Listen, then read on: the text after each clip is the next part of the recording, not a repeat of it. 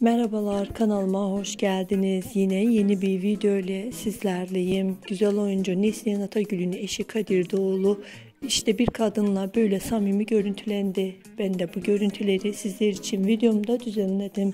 Evet videomun sonuna geldik. Sizlere iyi seyirler diliyorum. Hoşçakalın.